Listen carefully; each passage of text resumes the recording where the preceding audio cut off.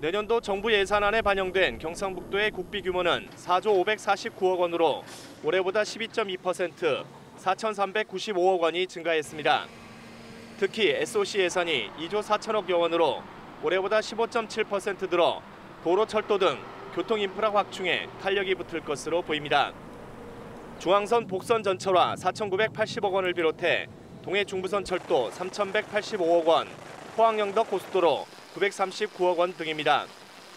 또 울릉공항 건설 389억 원, 백신 산업화 관련 199억 원과 신규 사업으로 동해선 전철화, 독도 전용 소형 조사선 건조 등이 포함됐습니다.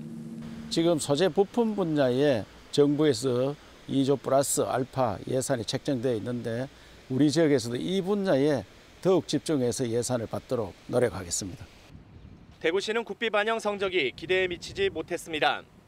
올해보다 고작 67억 원 증가한 2조 8,969억 원을 반영하는 데 그쳤습니다.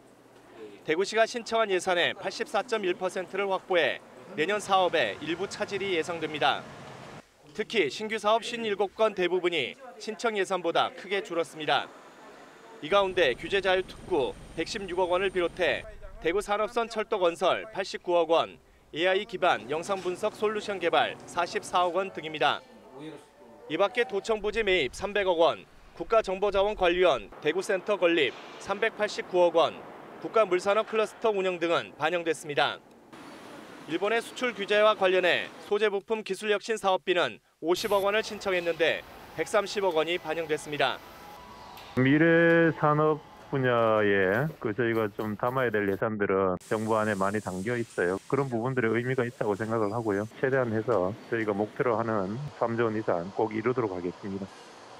정부 예산안은 국회 심의를 거쳐 최종 확정되기 때문에 대구시와 경북도는 국회를 지속적으로 방문해 국비 추가 확보에 전력을 쏟을 계획입니다.